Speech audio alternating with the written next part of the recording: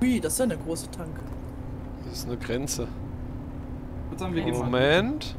Stimmt, das ist eine Grenze. Das ist keine Tankstelle. Irgendwie habe ich mich hier festgefahren, woran auch immer. Du steckst genau zwischen den Grenzen. Äh, zwischen den Böllern. Ah. Mach die Tür zu. Wir haben... ah, ja.